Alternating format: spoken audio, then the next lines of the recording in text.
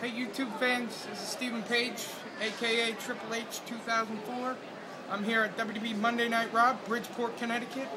We are in Suite 408. I traded in my tickets, got me and Dad a suite. This is pretty awesome. Look at that view.